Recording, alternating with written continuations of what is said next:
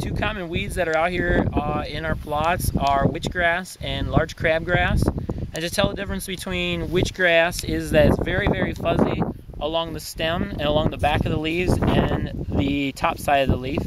Can we take a look at the the fuzziness? Can you show the fuzziness? Yeah, the fuzziness, if you roll the leaf against Yeah, you your hold it against your shirt because your then, shirt is oh, black. yeah. okay, yeah, So that you can move this hand That's- away. Yeah. it's fuzzy yeah, I see the fuzziness compared to the large crabgrass, which still has hairs on all of the same surfaces, just not quite as dense. Okay, so that's the fuzziness. So the then- way we can differentiate between large crabgrass and witchgrass.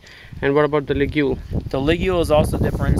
Different. The ligule in large crabgrass is glabrous. Just just wait. Can I- can't Yeah, that's okay. I can. it very If you well. hold it there, yeah, just hold it like that. Okay. It's glabrous. Yeah, I mean you can see it near the sheet. Mm-hmm. Okay, and the ligule. Of the witchgrass is hairy.